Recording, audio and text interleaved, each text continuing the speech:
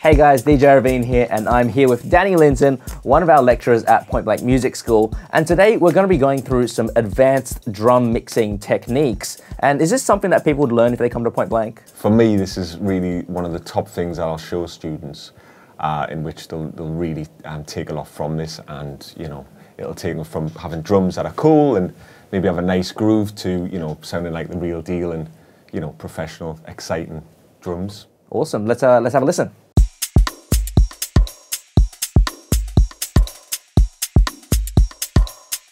This is after processing, right?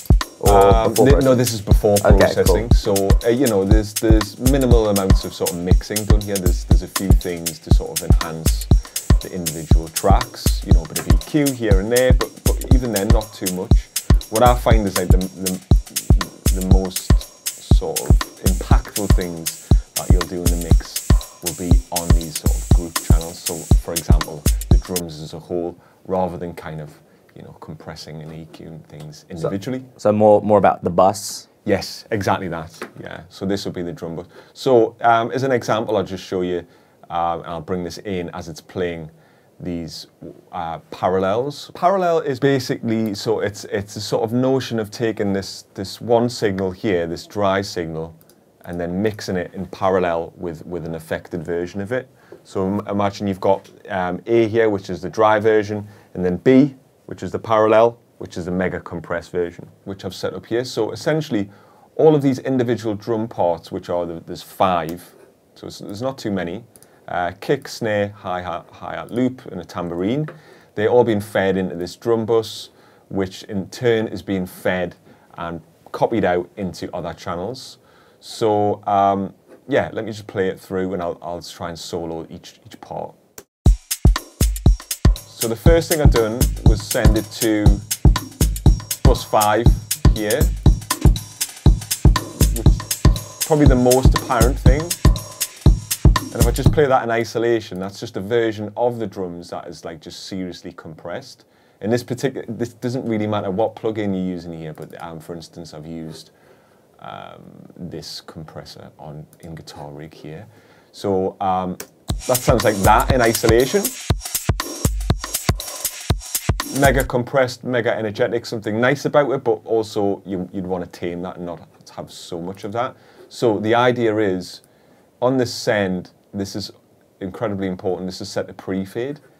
The reason being is that'll go directly from um, this fader here as opposed to this, this channel fader here. The reason being you can sort of make a mix and blend of the, the sort of the dry signal, if you like, and the affected signal. So let me just do that now. So there's the affected signal. There's the dry.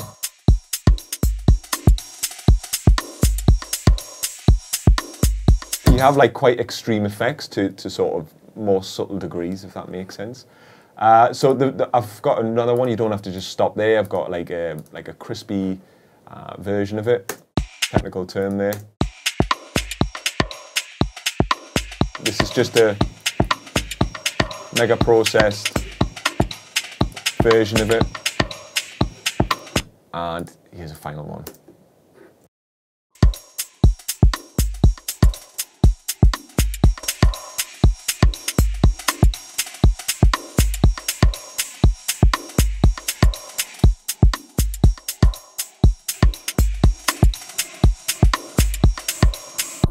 So what I wanted to do rather than just sort of showing you that now is actually we can build something up from scratch and you can show you can approach us in different ways and maybe show you're going to make this a bit more creative and exciting rather than just static we can actually have some of these faders moving and automating up and down and doing interesting things. And of course you can use this with any genre.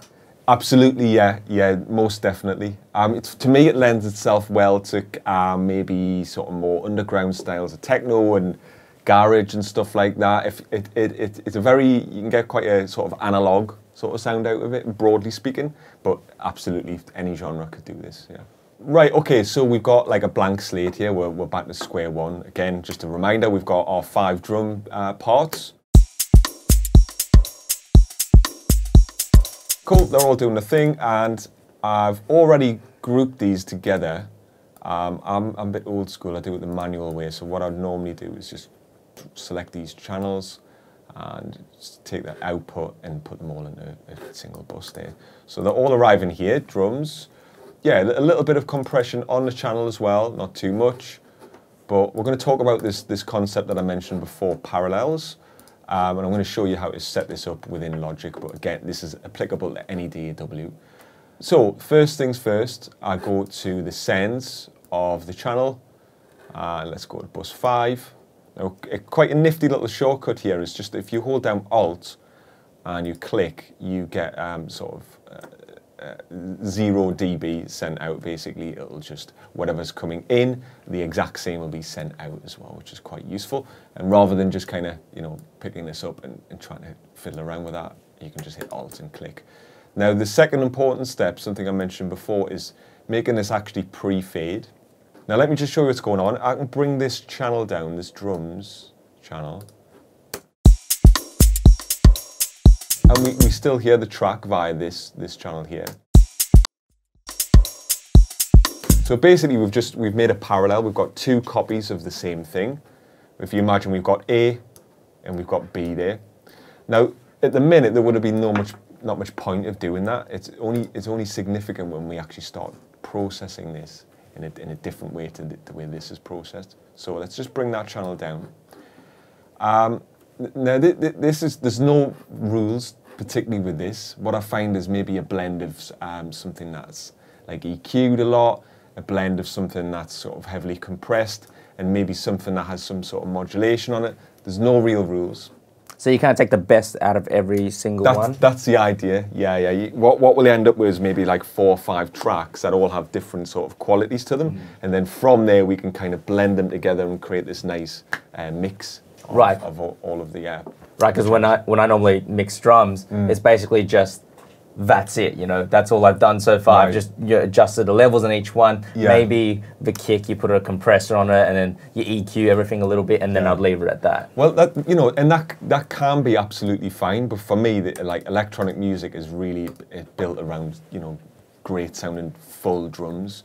So for me, it's, um, it's, it's if the drums aren't really full and exciting, I'll, I'll, I'll be less inclined to even add anything else to it. So this is about really creating very rhythm focused, drum focused music. It really lends itself well to that.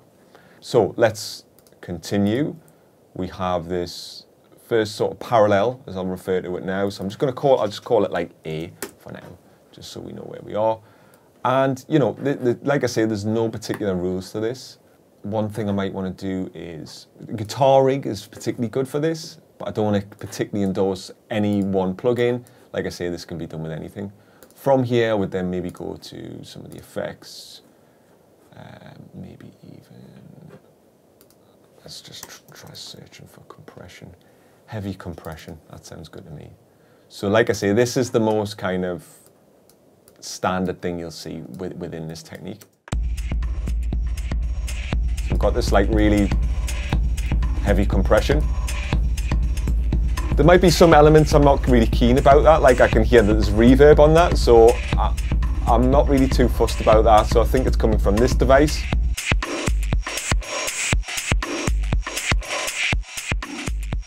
So look, this, it's, it's clearly too overly processed that, but there's something nice about it at the same time. It's very crunchy. Very crunchy, yeah. Well, look, cool. Let's call it crunchy. You can be as explicit as that. That's the, the crunchiness of the, of the track. Okay, so let's play it and bring back in this dry signal. Or let's go the other way. Let's start with the dry signal and then actually increase the, the crunchiness.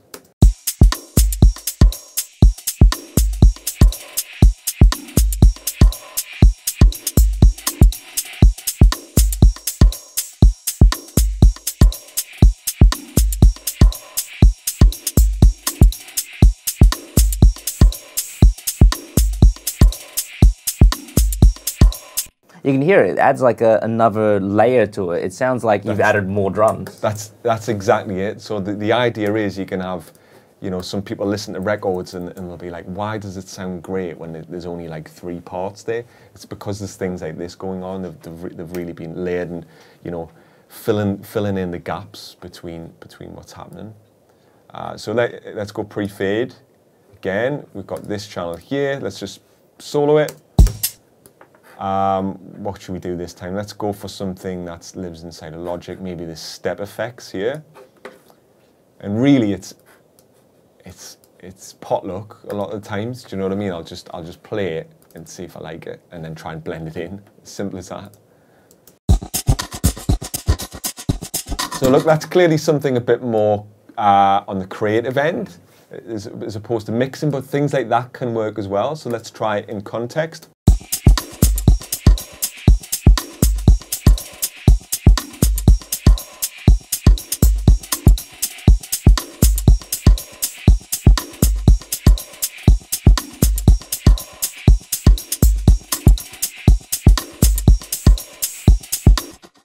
Cool, and I'm just going to try a few more things. Inevitably, you know, not everything works, but if you try long enough, you'll, you'll get a nice combination of things. Here's one particular thing that I like to use. Is, this is the, um, the Reverb Unit Space Designer, which is a convolution reverb.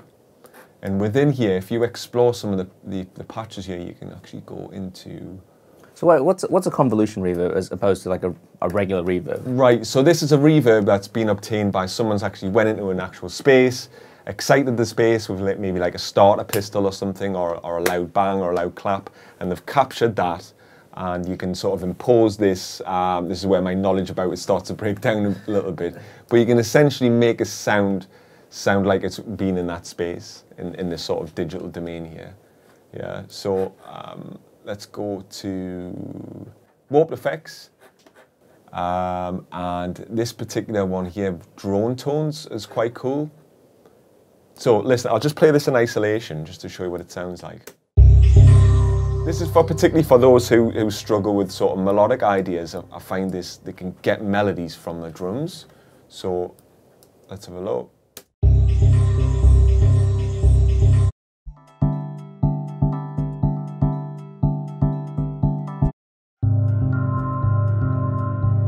Now that's cool.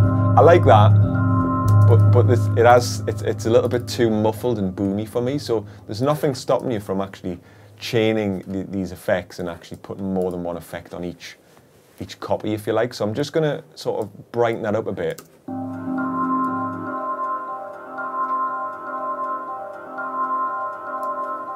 It sounds like a synth part. Essentially, it is. That, that, that sample there is just a, a synth tone but it's it's making the, the, the drums are triggering it. And look, if you want it a bit more percussive as well,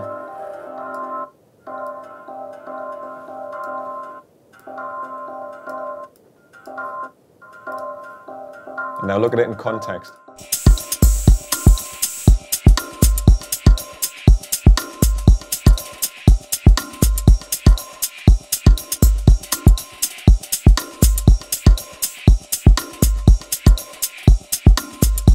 Let's do one more. That already sounds amazing. It sounds yeah. completely different from what it was at the beginning. That's it. We'll, we'll when we're finished, we'll uh, we'll take everything off and we'll we'll build it up again. So like this is the final one I'll do, and um, again, no particular endorsements, but um, I'm a particular fan of Molekular inside of Reaktor. Again, this is going to be more for kind of like craziness and, and movement and modulation.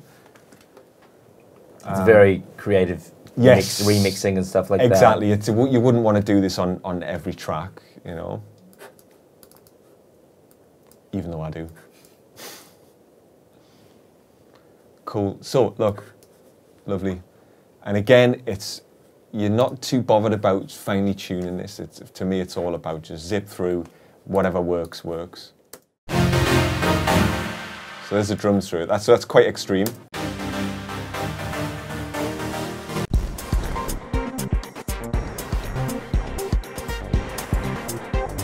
Like even within here, you can you can be a bit more refined about what you're actually looking for. So let's actually go into this embedded link here, and let's say, okay, maybe something rhythmical.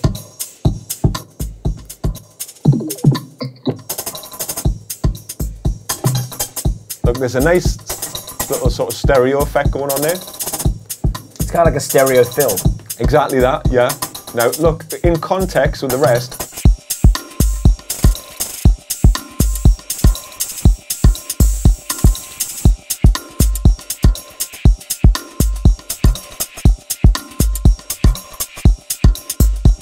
Cool. And then there's, there's sort of one final part of this for me, and, and that's that's making this dynamic. So rather than it just static, you can actually build these these things up. So one thing I'm thinking here, just off the fly, is, is if we right click on this, we can actually create the channel. Just a reminder, this is the version of the drums that sounds like this. So rather than just starting with that, we can actually blend that in. So let's right click, create track. There. Caravan is probably the name of the um, patch or the preset there. And look, we can just enable our, our um, automation and just sort of bring this in over time. This is, this is whatever you want to do. If you want to blend it in slowly,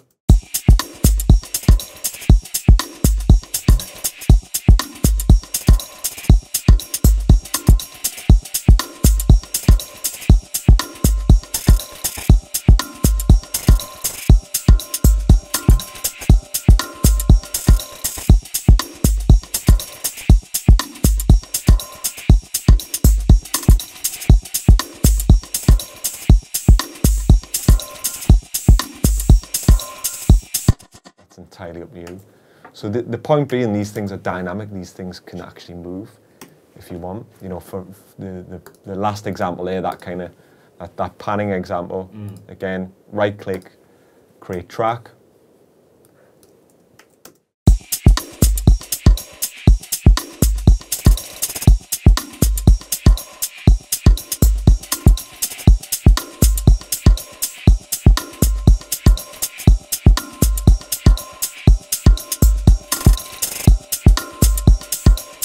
Yeah, that's a great example because that one was doing it on every every four beats Yes. before, and then you can make it do it on every eighth, like you just done it there. exactly. So you can kind of withhold some things back so they're not, you know, a bit jarring and, and constant. Yeah, it's, it's actually quite interesting how versatile this technique is because obviously here we've done a much more creative thing than in the first one. The first one was more about mixing, getting those drums analog sounding, and getting the drum sounding fat. But here, I mean, you've basically just created it. Almost it almost sounds like a full song now. Well, that's that's. You can sort of go a bit OTT with it to the point where you've you've left not not a room for anything else. But you know, if if, if you want that, that that that's cool to have that option, isn't it? Really, you know, making as much out of as little uh, as possible really is, is like a sort of a, a good approach. Yeah, it's quite a nice um, minimalistic approach to creating music as well. Yes. And this is great because I'm going to take this home and I'm going to start trying some experimentation with this just with maybe like five, six drum Yeah. tracks and seeing the most that I can make out of it. Out of the, the few, yeah. Set yourself a challenge. Maybe just go, okay, I'm gonna have five parts. What can I do with it? You know what I mean in terms of these sends and these parallels to make it as much as it, it possibly can be. And like I say, it doesn't have to be boring and static. These things can come in and out. Okay, so this is our finished product here.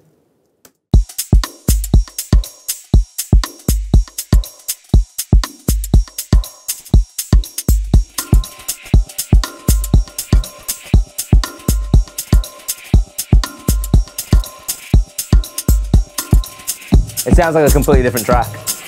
Sounds better. Yeah, hopefully. definitely. all right, hope you all enjoyed that. That was just a couple little advanced drum mixing techniques, but not so much even just mixing. I mean, you can use this creatively as we've just done. Absolutely. And uh, that's all from us today. Make sure you check out pointblankmusicschool.com to find out more about what we teach here at Point Blank. What do you teach personally here at Point Blank? Um, I teach a number of modules. I teach uh, production portfolio, which is a, the final module, the uh, major project, and sometimes I do the, the more introductory ones, uh, ITP, Introduction to Music Production, and various other ones. So definitely come join us. Maybe you'll get Danny as one of your lecturers. And uh, we'll see you guys next time. Thank you guys for watching. So yeah.